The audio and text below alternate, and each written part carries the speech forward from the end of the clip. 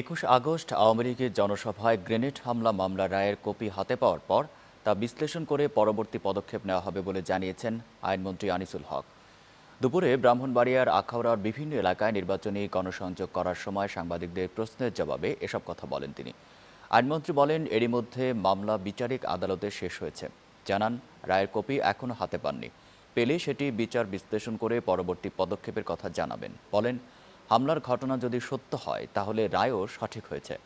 শুধু তাই নয় বিএনপি এখন রাজনৈতিকভাবে দেউলিয়া হয়ে গেছে বলে এ সময় মন্তব্য করেন আনিসুল হক। দুই চার সালে একুশে অগস্টে যে গ্রেনেড হামলা হয়েছিল এটা সত্য কিনা?